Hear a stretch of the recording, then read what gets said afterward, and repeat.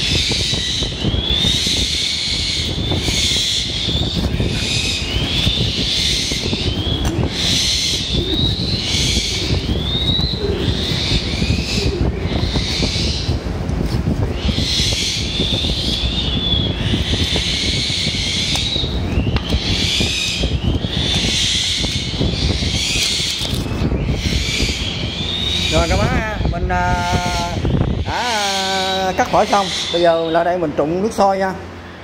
Mình trụng nước sôi. Rồi giờ mình cầm nhiều quay luôn nè. Rồi mình lấy nước nước bình thủy ra nha các bác ha. Trụng qua nước sôi cái cho nó ấm cái mình cho ăn. Rồi. Trụng qua nước sôi, tại sao mình à, đề phòng nó bị viêm họng mà? Rồi, mình sẽ bóp lên nha. Bây giờ nóng quá. Bây giờ nóng quá nóng quá mình bóp lên. Tí răng phổi phổi mới đó. Nào mình mua nè. Mua quá trời luôn nè. Đó mua nguyên bệnh lần. Nhưng mà giờ mình uh, phải cho nó ăn bóp và nóng này cực kỹ mà. Các bác nuôi chim dòng chim uh, diều trắng uh, săn mồi này nó dễ huấn luyện lắm mà dễ ăn lắm. Dễ nuôi lắm chứ không phải như mấy con kia đâu ha. Các bác yên ký đi. Chơi thứ này là dễ rất dễ chơi. Không sợ tốn mồi mà cũng không sợ nó bệnh hoạn vậy do mình cho ăn uống kỹ không kỹ thôi sao con này rớt ra rồi đứng lên đứng lên đứng lên đứng lên đứng lên đứng lên đứng lên đứng lên phải đứng vô nó đây chưa từ từ rồi mình sẽ cho nó ăn nha các bác nha cái còi đúng mẹ rồi rồi đây trước khi mình ăn mình sẽ thon thở còi cho nó quen cái gì á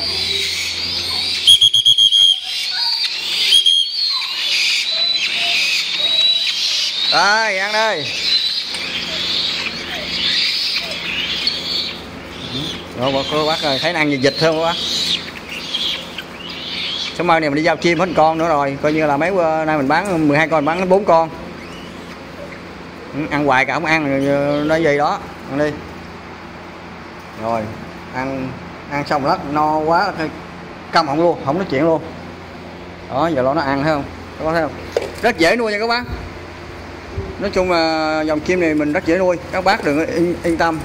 Phổi là một ngày con ăn cho mấy ngàn bạc à? Con hai ngàn bạc nó ăn thấy mẹ luôn. Nguyên bầy này ăn ngày 15 ngàn 10 ngàn à? Ừ, có theo đó nãy la quá trời bây giờ nó im hết rồi thấy không? Cha ăn từ từ thôi để lát chết hết bây giờ. Ừ, bà nội này bà nuốt không nổi bà nuốt là hai ba miếng xong nuốt nổi. Nuốt miếng thôi. Đúng rồi giật ra đi giật ra phụ nó miếng đi. Đúng rồi rồi đúng rồi. Ừ.